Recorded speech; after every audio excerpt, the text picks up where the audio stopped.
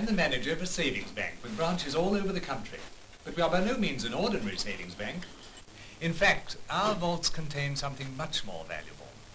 They contain flasks of life-giving blood and plasma. During 1948, nearly 300,000 men and women will each have given half an hour of their time and two-thirds of a pint of blood to maintain this service. When the blood transfusion service makes an appeal in your district, please volunteer to become a donor. I'm sure some of you here are already regular donors, and I feel that you would like to meet Raymond Charles. Raymond Charles was born suffering from an incurable blood disease, but his life was saved because modern medical science had made it possible to drain away all his own diseased blood and replace it with a healthy supply from a blood bank. Raymond Charles, as you can see, is deeply grateful. Thank you, blood donors.